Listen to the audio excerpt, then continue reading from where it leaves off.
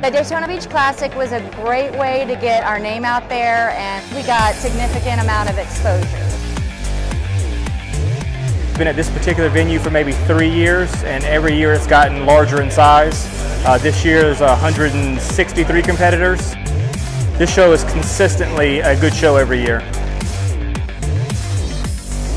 This has been a great event. We've made great connections, networking.